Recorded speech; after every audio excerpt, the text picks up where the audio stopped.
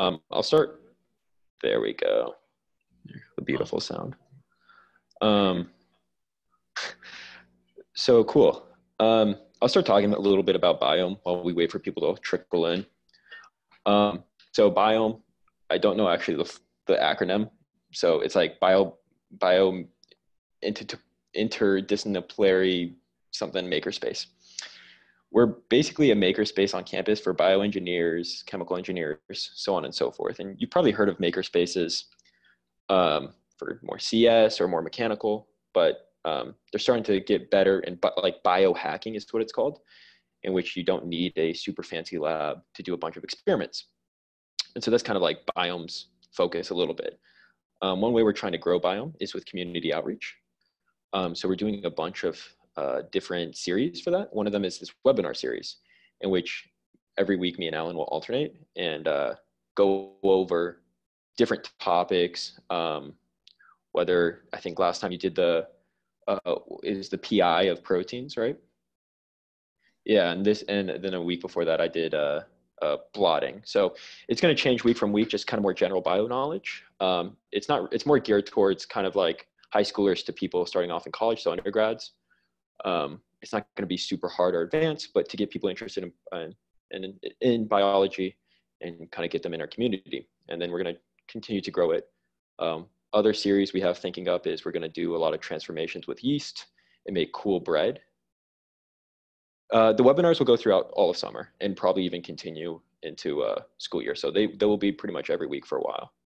Um, and if you look up, and I'll type it in the chat, I don't have their website info, but if you look up UTL at Stanford, they also have other series going on during the school year too. Um, and so, yeah, we'll eventually we'll try to invite guests onto this too. So like maybe if a PhD student wants to share their information, things like that. Um, so that's kind of what this is. Um, biome in general, that was awesome. Thanks, thank you, Alan. Yeah. And so perfect. Um, we'll get started here very soon. Uh, if you have any questions about that, just type them in the chat and I'll try to respond as quickly as I can if I have the answer. Um, other things we're looking at, we also work with the iGEM thing, which is a international bioengineering competition. Um, and we do a bunch of research projects that you, you all can maybe even get involved in over the summer if you guys look at them. Um, one of them I know that we're starting to work on. We think it's pretty cool. I'm forgetting like the, we had a fun title for it but it's like knowing your environment in which if you submit samples to us, we will um, kind of get a, a DNA barcode and try to figure out like the species of your environment based on its DNA and things like that. And so you could go around and, and get like the genetic map of your environment. Um, we're starting that, or we're working on starting that. So yeah, there's a bunch of cool projects going on. Um, and so you can check out our website too at biome.bio. Um, and see some stuff there that's constantly going to be getting updated over the summer and throughout the years to come because biome's sticking around. Even when me and Alan are long gone, it'll be there. It's like a great, great library. Just don't burn it down though. cool. All right, it seems like we're at 19, 20 people now. So if you want to get awesome. started, um, let's let's try to keep it engaging. So you know, everyone, if you want to ask questions in the chat, I'll be monitoring the chat, or just you know, unmute. Feel free to unmute and just you know, yeah. awesome, thank you, uh, uh Donna, uh, Miss Mrs. Schleifer. Um, yeah, um, we will we'll definitely share the the link to the recording on the um, email when we're done. So thank you so much. And I and I did an outreach email today, so cool. Um, Awesome. Well, let's begin. So ELISA, and I thought it was pretty funny. So hey there, Eliza. What's it like in that there? Well played. It's a biome production. So you know, sit back, relax, make sure your seat's buckled and your hands are staying inside of the vehicle at all times. There we go. One thing too um, is please fill out this form. We like to keep track of who's here. And if you are here for another reason and you didn't get the outreach email, this form will be used um, in order to put you onto the outreach email later, in which any of this kind of community outreach thing goes on, you'll be you'll um, be able to get an email about it. Alan, if you could put that in the chat, that'd be great. It's the same form as we've been using in the past. Um, cool. Um, awesome. So what is an ELISA? That's probably your first question. So it's an acronym. It means enzyme-linked immunosorbent assay. And here's a nice picture of kind of like what that is really entailing. So you got your, your immunosystem there, you got your kind of thing that's going to help you assay, and you got your, this is the enzyme linked, I guess, part here. And then you got the, the thing you're looking for. We'll get into much more detail about this, but this is just in the beginning. Again, enzyme linked, always important. Immunosorbent, that immuno is super important. And assay, you're using it to quantify things. You're using it to study how much of whatever material do I have. So we'll go in a little deeper here. So to understand an ELISA, we must first understand ourselves. So if someone can type in chat, please, what is an antigen? And if you are feeling courageous enough, um, how does your body respond to it? So I'll give you like a minute, um, give some answers, throw them out there, and I'll see what people got. And if no one has anything, that's okay. Uh, we know, I think we know. And no wrong answers here. Yeah, cool. Part of bacteria virus, cool. Antigen is like a protein or something. Sweet. Yeah. I'm going to butcher names and I'm so sorry about that. I, I can't I can barely talk when I'm normally speaking, so proper nouns are a struggle. But Gian or Gianni, you got it right. An antigen is a pretty much anything foreign to the body, and it's perceived as a toxin. So, like everyone's saying, bacteria, virus, those are antigens. Um, and so your, your body's going to have an immuno response to it. And that immuno response is this here antibody. And so when we look back at what an ELISA is, it's using, ooh, don't not look forward, look back, we're using these antibodies in order to bind to antigens. So let's say we had a virus we want to see if someone had, or we have a sample from someone and we want to see if there's a virus there. Well, one way we could see that virus is running an ELISA on the, the sample and seeing if the, if the antibodies would bind to it and then produce a signal. And so that's kind of like the basic understanding of ELISA, these antibodies binding to antigens. And it's what your body does all the time. You ever get sick, you got antibodies. You eat peanut butter and you really shouldn't have antibodies. They're everywhere. And they're gonna and they're gonna bind to these antigens. An important thing also is the structure. Don't worry too much about the specifics of the structure because I don't even know all the specifics of the structure. It's a very, very complicated system. But just know this part here, this little branch part, they're what bind to your antigens. So if you make a Y, and then this body part is they kind of help signal to other antibodies or cells to bind to things and react with things and stuff like that. That's what they do in your body, but it's going to be important later. So this is called your F sub AB, um, and these are the arms that will bind to the antigens. And then you have your your FC, and and don't worry about those sub letters there, just crystallization and like A binding or something like that. But just know kind of what their purpose is in general. And so the antigens, the FAB um, arms are made specifically for specific antigens. So you can see, let's say this one's like H1N1. Let's say this is COVID. Well, this antibody is not for COVID, so it's not going to bind to COVID. Great. Awesome job. Cool. Let's keep going. So there are many types of ELISA. There's direct, there's competitive, there's reverse, there's sandwich, there's indirect, competitive, so on and so forth. The one that most common though, and the one we're going to look at today is the sandwich. Um, and the reason why it's kind of common and why we're going to look at it is when we're talking about identifying viruses, um, you want something that's super specific. And out of all these, the sandwich is the most specific.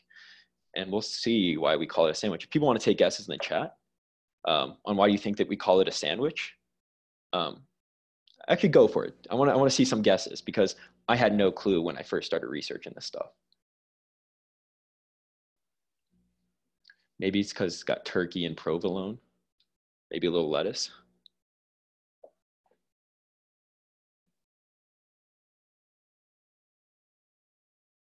And if no one knows, that's fine because I had no clue. Well, I'll show you. Oh, cool, cool. Yeah. Oh, Cooper. Cooper, you got it right on. Exactly. It's a sandwich. You make a sandwich with antibodies. So here's your bread. And I, I mean, what's your favorite type of bread? You got your wheat, and then you got your fillings. So yeah, so the sandwich uh, works where you have this antibody, antigen, antibody, antibody kind of coupled together. Super cool. super specific, so on and so forth. So yeah, cool. So that's really quick. So let's go into the individual steps of what's going on here. So what is a capture antibody? So this capture antibody is this first antibody that you're going to bind to the bottom of your well. So imagine you have this kind of rectangle with a bunch of little wells in it. I'm sure you've maybe seen something like it before. Um, you're going to put a nice liquid in there and you're going to put these antibodies to bind to it. So these are charged and usually they're charged in the same way. If you watched last week's um, webinar, uh, Alan talked about one way that you can cause charges on proteins. Um, in which you introduce different pHs, you introduce a wash to them in order to charge them, and so they bind better to the bottom of the polystyrene well. Um, they're also polyclonal. So polyclonal is a fancy term for antibodies that can bind to you know different things. They're not very specific, um, but these are the ones you're going to find in your body. They come from your B cells, your T cells, a bunch of different varieties of them. There's also monoclonal, and we'll talk about monoclonal different uh, later, but polyclonal will bind to different epitopes on your antigens.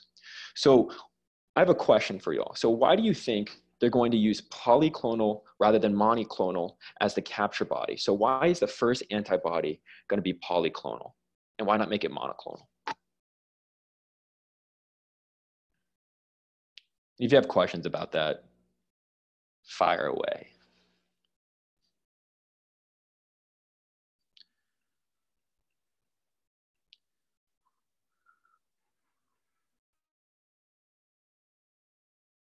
I accidentally muted myself. Yeah. We need another, we need an M here, a C here, and an A here to finish the song. Um, yeah, so I'll just continue. So the, the polyclonal, the reason why you're gonna use that is because you don't really wanna be hyper specific on just getting the antigens to bind to the bottom. You wanna kind of collect as many antigens as possible um, and you're going to introduce the specificity later. Um, and so you're going to use a polyclonal uh, capture antibody. Again, bind to different epitopes on the maybe the virus or whatever antigen. And we'll talk about what these epitopes look like uh, later when we talk more specifically about viruses. So step two, this one's pretty simple. You add your antigen. So here's your the bottom of your well. You just bring in your antigens, and they're going to start binding. If there's antigens present, if not, maybe they won't bind, and not all of them are going to bind. Now, step two, a new antibody has entered the chat. So, like I said, these antibodies, they're going to be monoclonal. So they're going to be a little more specific. They're going to bind to specific epitopes, and they're all going to be the same. Um, and the way they make these, these are lab made. You don't get these kind of naturally. Monoclonal are made in lab very specifically to to work at in assays or work for diagnostics. Um, and so they, they bind very, very specifically and they're all identical. Great question. So we'll talk a little more specifically about washing, but um, when you're doing an experiment, if I started just mixing all of my uh, different kind of solutions together, you're going to get a lot of extra things. Not every not every antigen is going to bind. Not every uh, uh, antibody is going to bind. Um, and so you want to wash the ones that don't bind away. So great question. Um, cool. So yeah, so, so great. So yeah, so these are super specific, hyper specific, and this is how you get your specificity.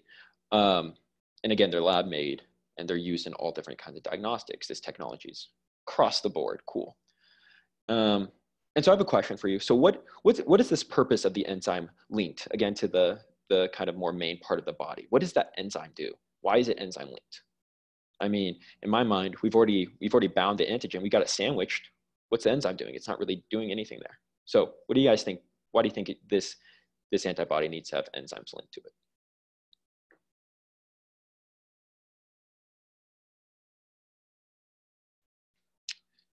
Yeah, that's it. Yeah. So a lot of times enzymes do that. There's there's a different reason though. Um, if we look here, the enzyme's not binding to the antigen, it's only the antibody. So what would you maybe do with the enzyme? If you have more guesses. And thank you for typing chat. Mark location, yeah, we're getting there. Yeah, yeah. Um, so good, so yeah. And so we'll talk a little bit more specific about the specific enzymes used, but it's pretty much mark location or mark the amount of density you have there. how many antigens are there in this well plate? And why is that important? Let's say, you know, uh, maybe I have got only one antigen. If I, if I only have one antigen, then only one antibody is going to bind to it. And, you know, this sample maybe has like thousands and thousands of the capture antibodies. It's barely going to show you know, the, the goal of this is going to be pretty much to change color at the end of the day. It's still going to be pretty clear. Now, let's say I have 950 antigens bound to my 1000 uh, capture antibodies. Well, now that's going to get really dark blue. So marking location is good.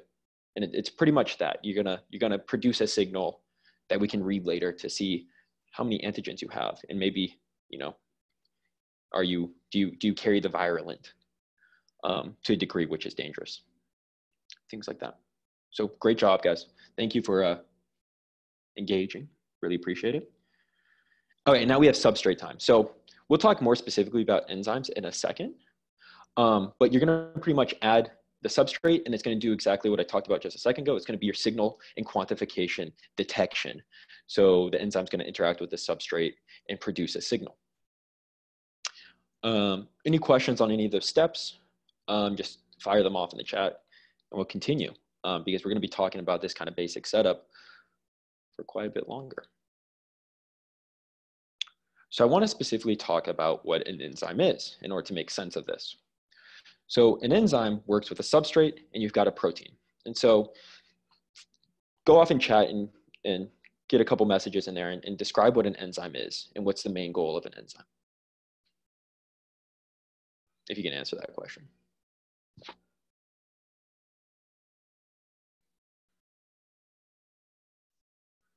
Enzymes are super important. Yeah.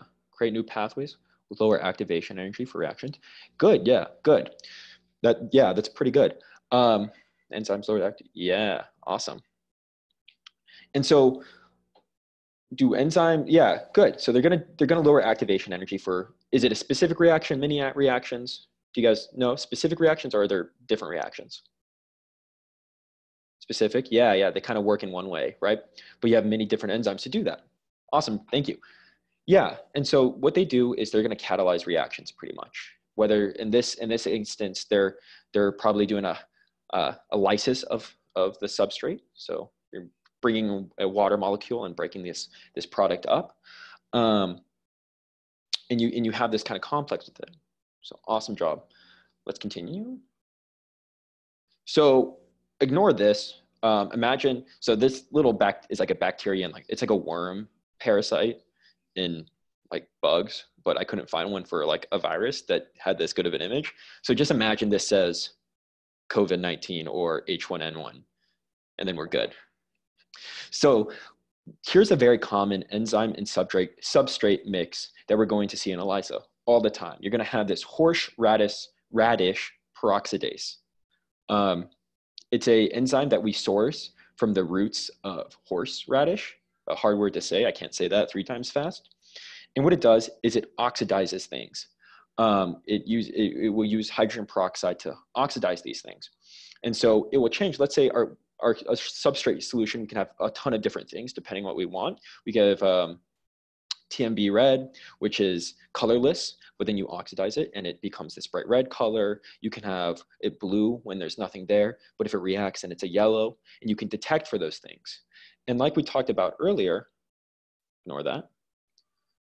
Um, with this, the amount that's in there is going to change the amount of color, right? So the, the darker the color, the more antigen you have in there.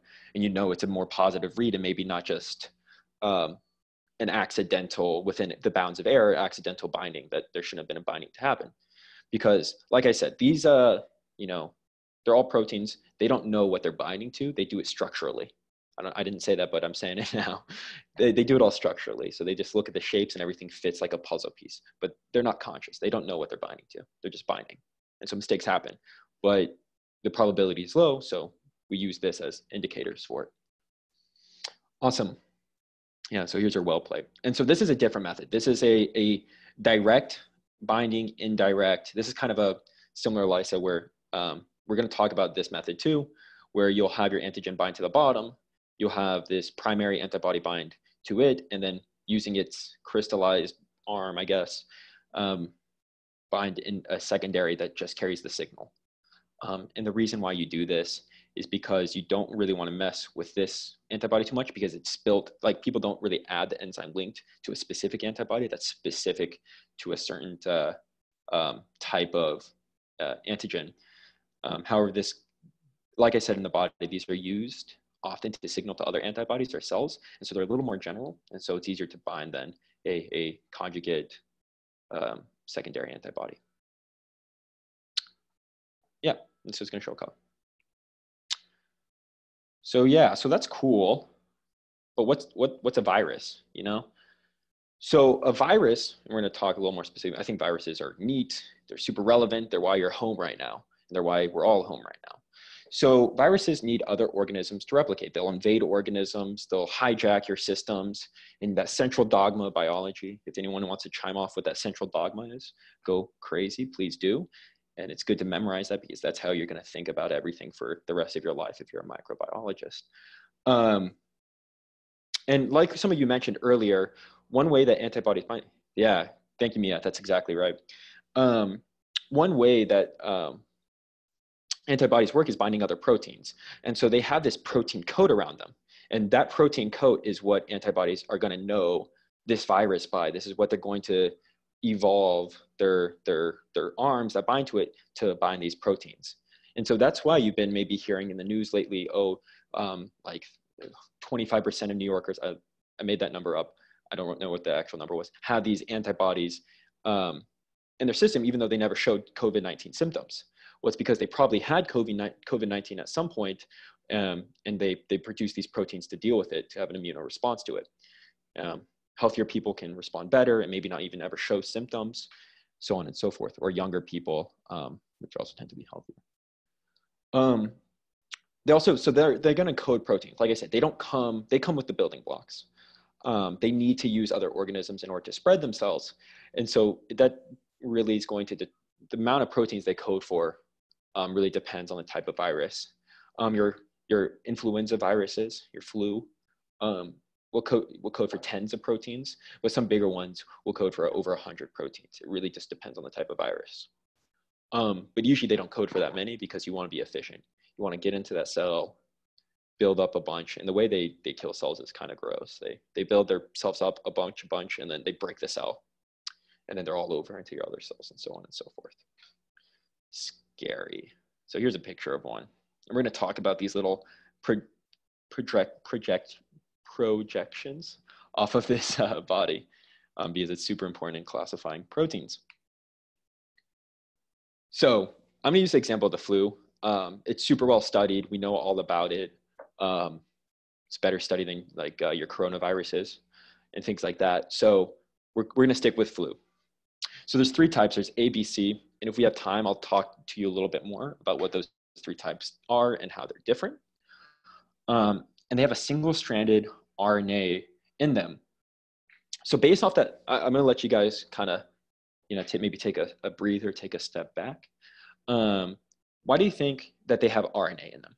What are they going to use that RNA for?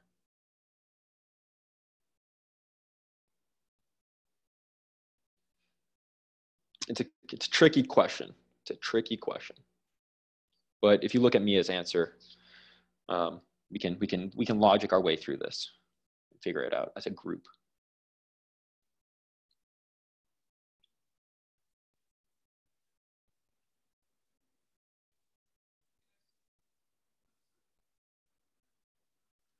Yeah. Yeah, yeah.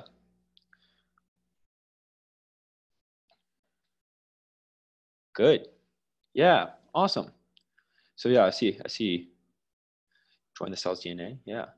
See a bunch of good answers yeah, they're they're they're gonna work themselves. They're gonna kind of hijack that central dogma. Um, the specifics depend on the virus, and I'll, I'll, talk to you a little bit more about the RNA structure of your flu virus and how that works, whether it's a positive strand or a negative strand, and what that means. Um, but y'all essentially got the answer correct, which is super awesome. Good biologist. Um, they're going to, you know, force the cell. They're going to hijack maybe the DNA put themselves in there and insert themselves in there. They're going to hijack ribosomes and make sure that they copy the types of things they want. Now, let's look at this protein here, or protein capsule virus situation. Um, what kind of proteins do you see that are, are going to need to be replicated? What, what needs to be in that RNA? What, what does the RNA need to code for? If you guys got some of those answers. So we know how it does it and you know why it needs to hijack a cell, but, but what, what does it need? Yeah, receptors on the protein code. Good. Yeah, yeah. That's definitely one of them. What else?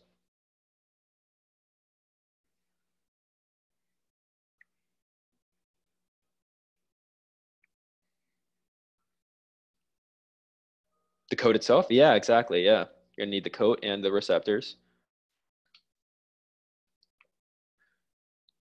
I got, I've, there's one trick one too. I, have got it in my head because this picture does not show what it is. And so I'm being a little unfair. Um, cytoplasm. So yeah, um, there's going to be, so yeah, there's going to be stuff inside the virus for sure.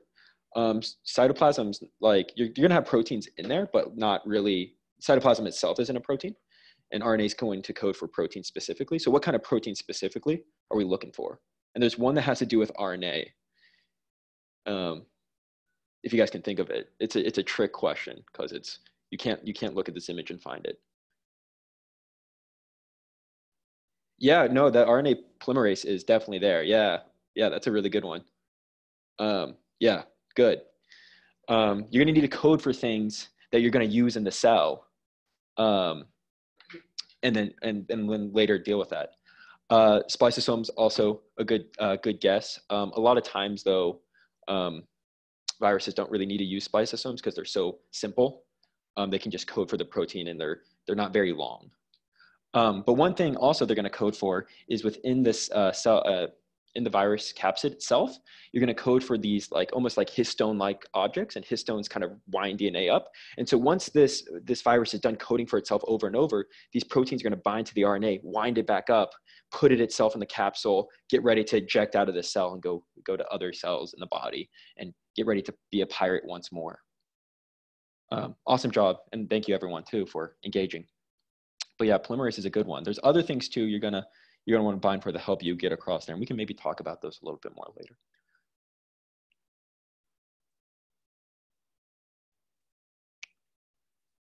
All right, I'm moving my group chat. So, so we're going to talk about virus type A. Virus type A is the most common one. Um, we see it all the time. It's your H1N1s. And so I forgot to talk about here. So glycoproteins.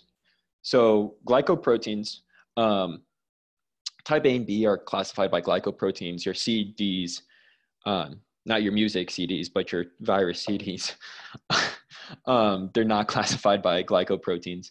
Um, and so these are the, these little proteins protruding off this wall here, or the, the capsid, are your glycoproteins. Um, they use they're used for a bunch of different things. They're used to signal. They're used to guard themselves um, from detection. That's kind of one of the main ones. Um, but they also serve a purpose. They will bind to the cell. Um, they'll then dig into the cell because you got to inject. You have to inject your RNA somehow, and so they'll use these glycoproteins to capture your cell um, and, and swing on into it. If you want to think of it like a pirate, I like that analogy. I've been watching Pirates of the Caribbean over quarantine. So here's your Jack Sparrow on his black pearl. Um, so you have two different types of, of glycoproteins. You've got H and N. So the hemagglutinin is a glycoprotein, and this is the one that binds to the cell. It's going to target a cell and have specific binders. It'll bind to maybe other glycoproteins because your cell has glycoproteins. It needs to signal. It needs to bind to other cells. It needs to signal to other cells. What what the hell is going on in me? You know. And so it'll hijack that system. It knows. Um, you've got then, I'm going to butcher their name, neuraminidase, which that is should clue you off. It's an enzyme. It's going to do something. It's going to catalyze some reaction. Um, this is going to pretty much inject the RNA into the cell.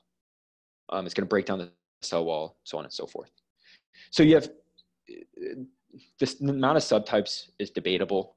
Um, the the information I got, um, talked to UTL about it, 16 to 9 you know, you have 16 uh, H's, you got nine N's, but you're going to find other information somewhere else. Maybe there's, I think the one I, I also saw was they classified 11 and 19.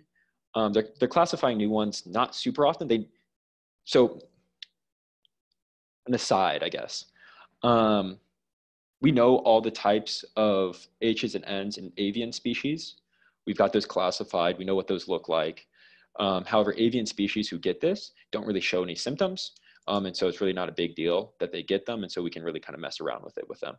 Um, in mammals, though, you'll, you'll show more symptoms, so on and so forth. You maybe get epidemics or pandemics.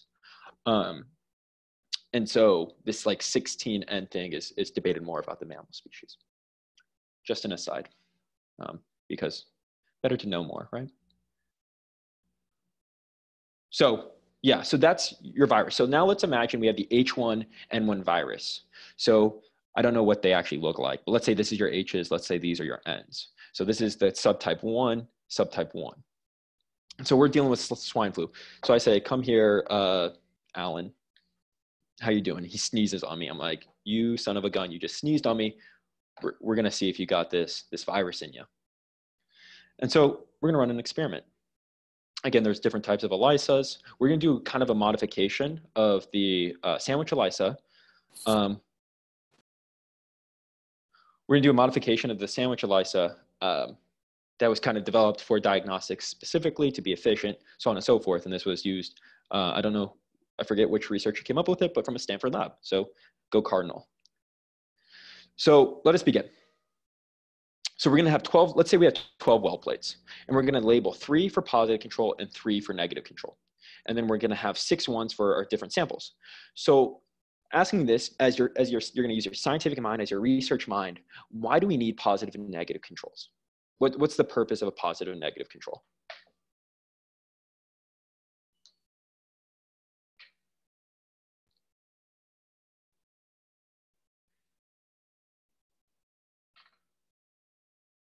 And you're going to use them every experiment you should do. You should have a positive and negative control. So if anyone's got any ideas, hit me up in my chat.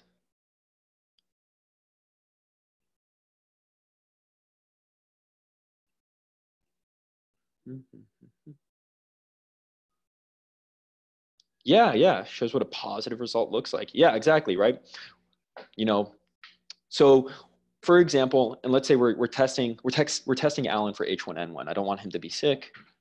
Um, good, yeah, good. You're comparing your samples to your control. So what would be in the positive control? What would I need in there to make sure it's going to get a positive response?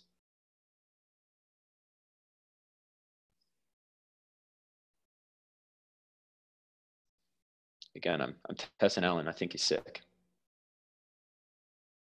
Thank you, Alan, for being a, uh, my example. You're, you're a trooper.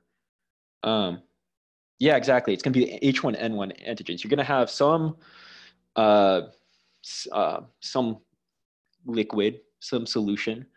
I always forget the word solution, so bear with me. Um, you're going to have some solution that's going to have a bunch of antigens in it, and that's your positive control.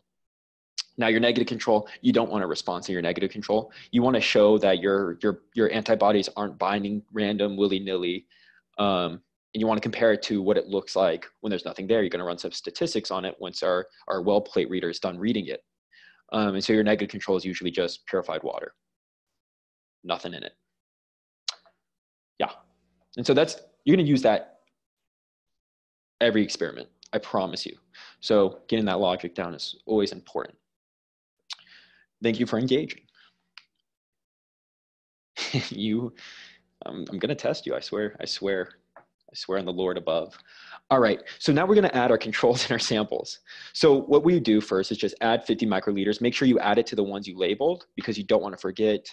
Um, I know you, you think you're, you think you, you can, you figure out everything, but when you got a 96 by 96 and you forgot to label, uh, you're sweating. You have no clue what's in any of those wells. So make sure you always label and you add it to the right ones.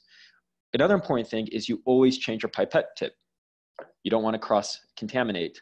You ruin the experiment, right? You ruin your controls, you ruin your samples. And so um, add your three controls, add this. Um, and we're just using five, 50 microliters. This is kind of what's used in these smaller well plates. Um, but depending on maybe the amount of antigen you expect or the size of your well plate, that 50 isn't a fact. It's more of just like, we want to make sure we have enough and it fits in our experimental size. Uh, cool. And so getting on to the question we had earlier, I forgot who asked it. My bad. Oh wait, not yet. One more step, and then we'll talk about washing. So we're going to add the antigen now. And so in this model, it's similar to the one where I talked about with the worms, if you remember way back when, in which, so microplates are made out of polystyrene. These kind of have a charge. Um, and so hydrophobic or nonpolar, or they have an absence of a charge, my bad. Hy hydrophobic or nonpolar, and also an absence of a charge, um, antigens will bind to it. They're proteins. You know, each little individual amino acid, each residue has its own charge. Um, and so the nonpolar ones are going to start binding to it, and you're going to get them to bind on the bottom. Um, and then from there, um, you should again have antigens in the positive control always binding to the bottom because it's your positive control. And then in your different samples, you maybe have them bind to the bottom. You don't know; they're too small to see. But an example of kind of more of a graphic of what that would look like is you take it from your sample and add it in. So you're just adding in, um, you know, I guess this would be in your samples if the antigens are in there, more kind of that logic. Hope that makes sense. Um, now we're gonna wash. And so I, you already preempted a question I had, why are we washing and why is it important? Um, you need to wash to remove the extra, you know, if you, later when you add the antibodies, if I didn't wash, let's say my positive control, um, you know, I'm not gonna know what's binding. Or let's say I have a sample, and let's say not all the antigens bound to my sample, um, you're going to then later have free floating, weird, uh, um, secondary antibodies binding to them. And you just don't want that. You want to know what's going on. You want a, a nice hard science. And those free floating antibodies may signal off in a, in a different way. You, and they may signal off even when they're not bound. So you always are washing. After every different solution you add, you're going to wash. And so I call it gravity drying because you use gravity to dry it. And so you'll put in uh, a washing buffer. And washing buffers are usually detergents um, not that dissimilar from the detergents used to wash your clothes. Um, and they, they will clear out everything. Um, and then you put them on a paper towel, you maybe tap them a little bit, not, not vigorously, but you know, just on the sides. Um, and then, and then you're ready to um, add your wash buffer, and then you do the same thing with your wash buffer. And you're gonna see this gets pretty repetitive because you're gonna need to do this after every step. So yeah. Um, so Andrew asked, what if an antigen is not hydrophobic and polar? Ooh, good question. So that's one way, that's another thing we talked about um, earlier. So what we could do is then use our capture antibodies and use an actual sandwich. And so you could have your capture antibody bind to it, and then the antigen can bind to it. Um, that's one way to think about it. Um, you could have another way where you introduce a buffer with the antigen and that buffer would interact with the antigen in order to change um, its kind of net charge. Because if, um, if you want to look at last week's webinar, Alan did a whole long uh, talk on how you can actually change protein's charge based on the pH. Um, and so you could do that. Um, another way to think about it too is there's probably going to be uh, a, a, these antigens aren't usually that small. There's going to probably be a significant amount of nonpolar residues on it. And the way proteins usually structure themselves is a lot of times they'll structure themselves in which they'll fold, right? Because they got that 3D kind of way of folding. They'll fold to have nonpolar residues exposed to the outside. So it could happen. Most of the time, there's going to be nonpolar residues there to, to bind to places, especially if you're in like a water solution and things like that, which they tend to be in because they're in your cytoplasm. Um, and then also, um, you could always use a different ELISA um, to tackle that problem. But that's a great question. Um, and thank you for asking. Yeah, so I'll just add a small bit on top of that. Yeah. Um, as Colin mentioned, there are many different ways to bind your antigen to the um, to the plate itself, but there are other ways as well. You know, there's many different ways. One other way is you can coat the bottom of the plate with something called streptavidin, and then you can also um, add a biotin tag to your antigen, and the biotin will actually bind to the streptavidin, and that can also help stick it to the plate. So there's many different chemical ways to, to modify. Yeah, thank you for that. Yeah, great. And so, yeah, so this problem has come up before. Um, great. Uh, so now we're adding our first primary antibody. It's all coming together now. And so you're gonna add this primary body to each well. You hope it binds to your positive controls. You hope it doesn't really bind to anything in your negative controls and you, depending on your sample, you know, I don't want Alan to be sick. Hopefully it doesn't bind. But he's coughed on me too, so I have two samples. I'm also testing myself. Um, and you're going to let it sit for five minutes. You're kind of letting it mix. You're letting the sauce stew a little bit um, and let it bind and let it react because it's not just going to go like that. It doesn't work that way. Um, and so it's all coming together. So I included the meme. Uh, I feel like I'm a boomer now. So and we'll continue. We're going to do it again. We're going to wash it again. Again, you always got to wash. Um, there's many experiments I've ruined because I forgot one step of washing. It could be, there could be like 20 steps to the experiment. You, you forget to wash in one or two of them. Your experiment's ruined. You can't count it. So very rigorous in washing. It's very important. Um, so you're going to wash it the same way, same style. Pour out the solution in there. Take your uh, washing buffer uh, and then dry it out again. Let it dry for a bit, and then you're going to add another secondary antibody. And remember what this looks like. I don't know if you can see my. Can you see my hands, Alan? Cool. So you're going to have, you know, your antibodies here. Uh, it's going to be like that because it's binding to the antigen at the bottom, and then you're going to have it come back and bind like that, and then the enzyme's going to be in like one of the bunny ears. So that's the way it's going to look. And now you can even have more. Um, you know, if you saw it at beginning, you could have antibody, antigen, antibody, antigen, or not antigen, antibody, antibody. And you use those many different antibodies for the same reasons as I talked about before. They're made kind of specifically. You use those monoclonal antibodies to bind to the antigen because we want very, we want high specificity. We don't want misbinding because other things are going to bind to the bottom.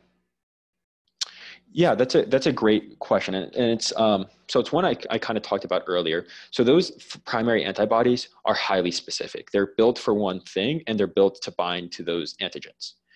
Um, if you start introducing other things into it, you can kind of change that structure and make it less efficient, and it's just harder to do. And so we have a really easy way of just making sure that you have this antibody that binds to this antigen, and then we have more general other antibodies that bind to just antibodies in general. And so that's kind of what we use. We use a highly specific monoclonal antibody to bind to the antigen.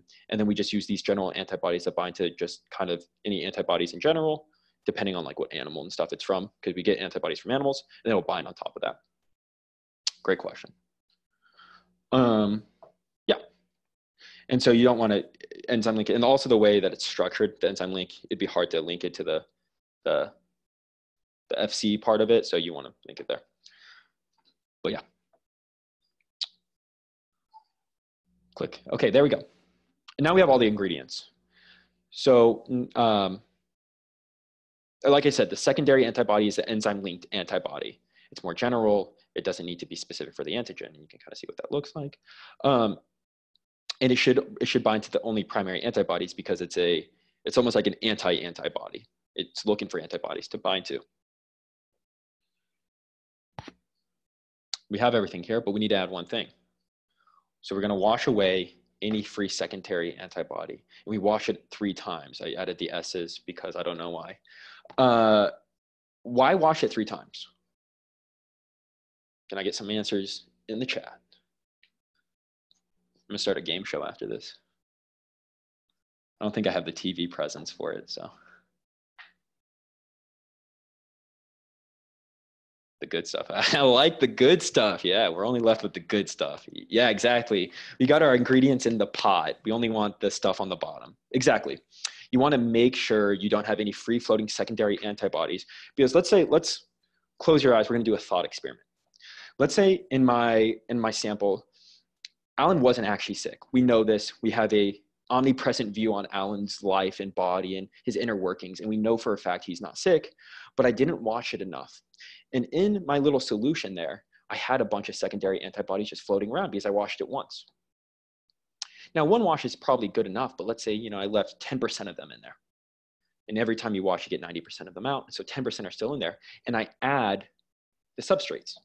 Well, the secondary antibodies are still going to interact with the substrates. They don't need to be bound to anything and they're going to cause a signal. And so I'm going to get this reading back in, you know, me being in my lab and my, my minimal my view on the world, I'm not omnipresent, I'm gonna think Alan's sick. I'm gonna give him medicine he doesn't need.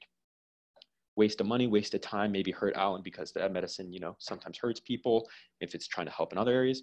Just bad news bears. So we gotta wash a bunch. We gotta get it out of there. We wanna make sure our readings are correct and accurate. That's the point of science, baby. That's it. Now we're gonna add the substrate. um, and we're going to wait five minutes. We're going to let it react. We're going to let it sit there. We're not going to wash this time. Well, we're going to wash when we're all said and done, or you're just going to toss the well plate, depending on uh, how expensive your lab is. If they got lots of money, they'll just break those over their knees and then throw them away to, to laugh at the poor labs. But it depends. Uh, and this is what it's going to look like. And so at the end of the day, we're going to get this reading. Now you look at this, you, you know, this is a really pretty reading. It's not going to look like this. You're going to have a little blue here. You're going to have a little blue here. Maybe your negative control has a little blue, but that's okay if it does have a little blue. Um, because like some, sometimes maybe at the basal rate, it's a little blue and you just got to compare it. You know, it's in all in comparison to this. So um, we can see, you know, let's say this is Alan, uh, this is me. And then let's say like five days later, this is Alan and this is me. Then 10 days later, Alan, me. Then Alan got sick again, so on and so forth. Um, we would know, and that's a this is like a perfect well uh, well reading. It's not going to look like this, but if it did, you did great. Awesome. And so that and that's it. That's kind of how we're going to run those experiments. Um, once you get the muscle memory down, those go by pretty quick. They're not very difficult. So there are other methods to do it.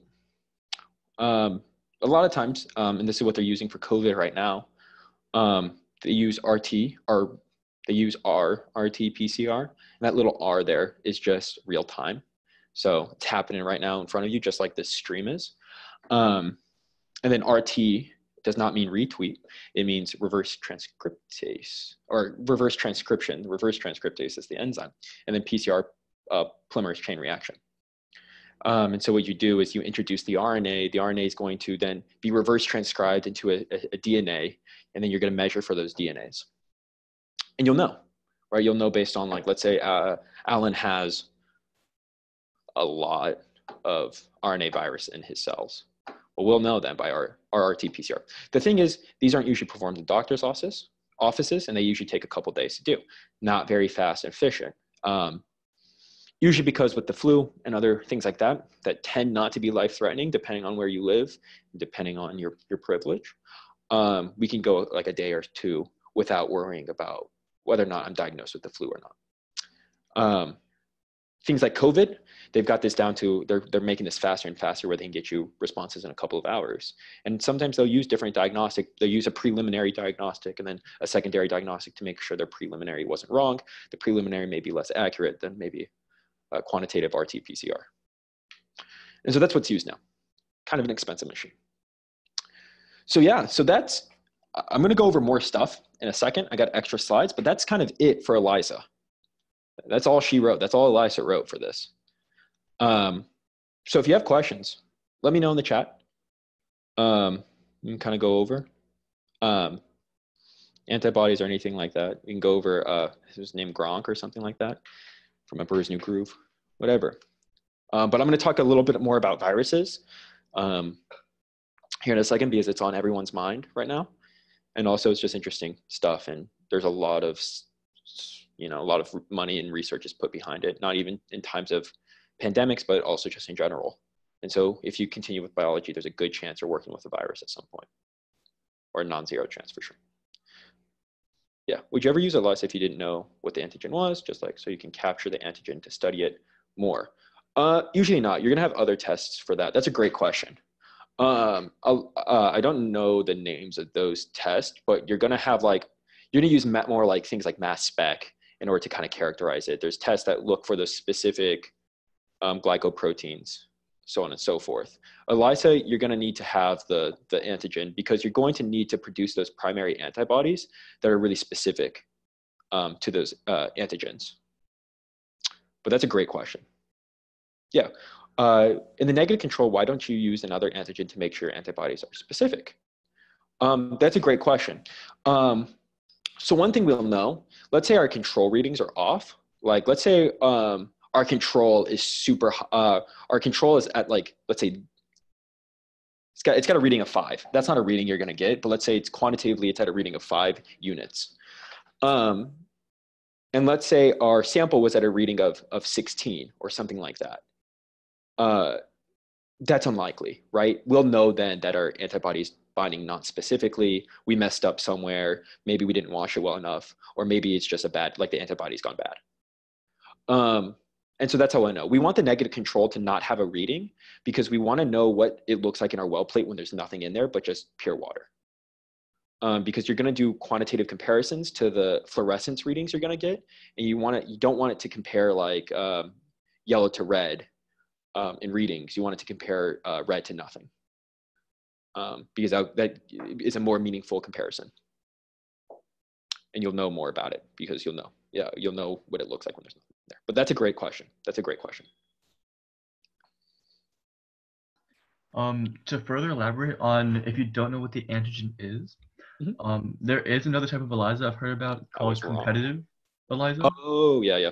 Continue. And then for competitive ELISA, I think the idea is you have, um, you know, multiple things that are trying to bind to it. And you, you don't necessarily have to know what the antigen is, but if you, oh, sorry about that. um, but the idea in competitive ELISA is um, you have a some some antibody that tries that tries to bind to certain things, and then only if it gets stuck onto the plate after the washing does it uh, have a reading. And so I think there are certain cases where that um, where you don't necessarily have to know the specific structure of the antigen, but that's typically um, it's typically recommended that you do. yeah, yeah. So I'll give you some uh, example use cases that are outside of diagnostics for ELISA.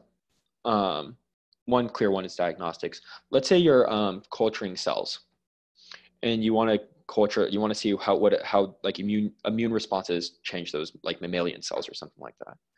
Um, you'll use ELISA as a bunch in order to to test for certain proteins um, you're looking for.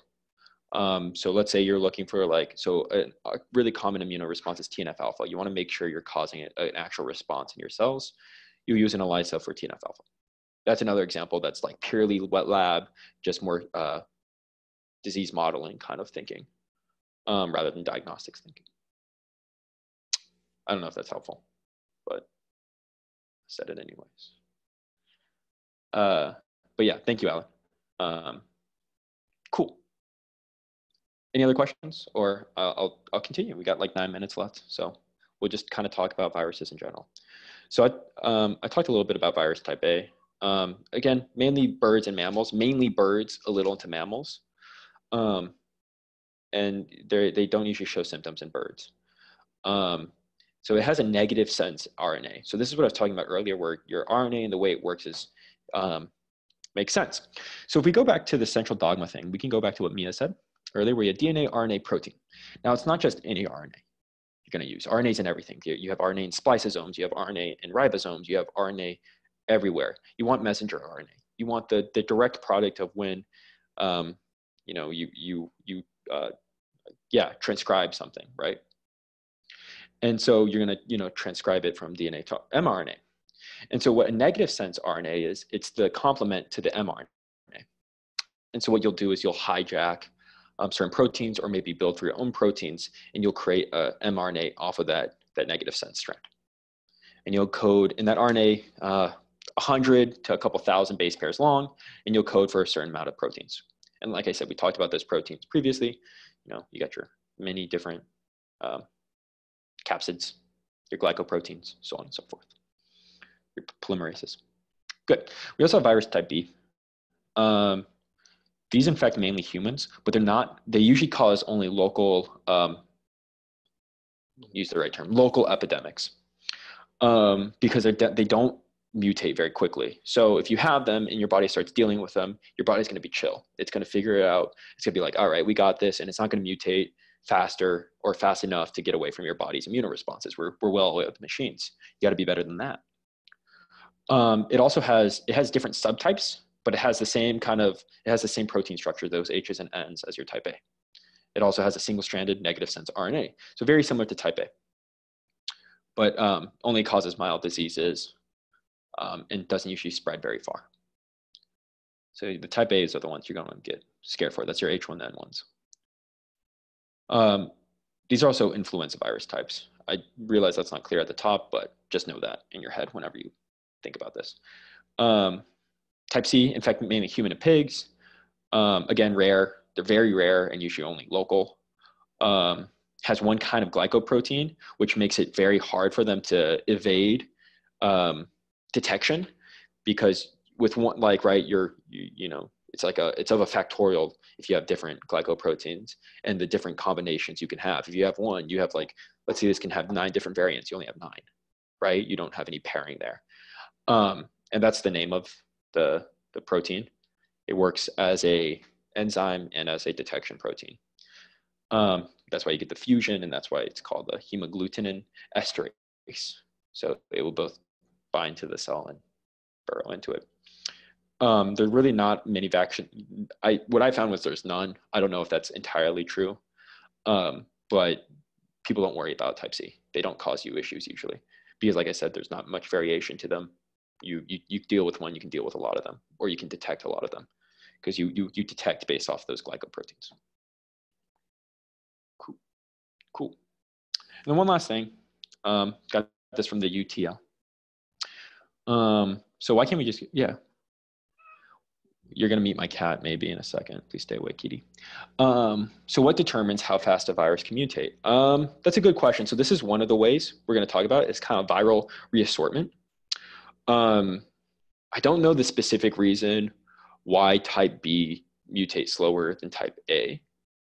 Um, but I do know that they specifically mutate slower when they're in the presence of like a, human like biosystem or kind of microbiome, I guess. Um, but this is one way that viruses do mutate. Um, so you're preempting a good question, in which you'll have a um, much similar to how you, you can have recombination in your DNA. Viruses will almost recombinate with themselves, in which they'll swatch, swip, swatch, excuse me, swap out uh, RNA um, or specific recombinate like kind of RNA, and so you'll start encoding for different glycoproteins, for an example. Um, and so you, you'll see you have your H1N1 and then you have the H3N2. Maybe you have both of these in your system and all of a sudden they will start to fuse together or when the capsid forms, they'll take you know a recombinated RNA with it and now you have uh, a different a different strand. H1N2, um, H3N1. Um, you can you see how this can get kind of crazy depending on what you're you're dealing with. Let's say I'm a bird catcher or a bird farmer and I'm experience I'm around these viruses all the time, um, and I've got my own in my body. Well, now we're going to get something scary, and that's what happens. Um, thank you, Europe, I guess, for that one. but yeah, so that was a great question. Um, if you want to look more, I, I, recommend looking more into Type B uh, on, on virus mutation rates, um, because I do not have an actual real good answer to that. But great question, great question. So yeah, so that's kind of like Oh yeah, and one thing is always get vaccinated. It's huge. You're gonna need it. You can't fight these viruses by yourself. You want to know that they're here. Um, and that's kind of all I got for us today. Um, if we have any questions, please feel free. I, I can stick around for however long, um, chat or whatever. Um, yeah. But thank you guys so much for showing up. Again, we'll be here next week. Um, next week will be Alan presenting. So get excited for that. Alan's Alan's mega mind. Yeah, so so next week I'm thinking about presenting on how to detect protein-protein interaction. Cool. So inside cells, you know, you have a whole bunch of proteins. You have this huge, you know, this huge pot, this mixture inside of your each one of your cells. You know, there's enormous complexity. And then I'm going to be talking about well, how do biologists exactly know which protein interacts with which protein? You know, how do you know the pathways are inside cells? So that should be interesting as well. That does sound really good. I like that a lot. Colin, I have a question actually. So you know how when you get vaccinations, um, right. how do how do the doctors predict what type will be the next flu season? What what kind of virus will there be in the next flu season? Yeah, that's a great question. That's like um, what they do. Um, and this is I only have this. I haven't ever like really I've talked to a doctor about this once, and this is my information on this. Um, so there's new ways of doing it now because our, our computation's way better, but you can run models on based on uh, various past um, flus, maybe in animals or in humans, and you can kind of predict how they're going to recombinate.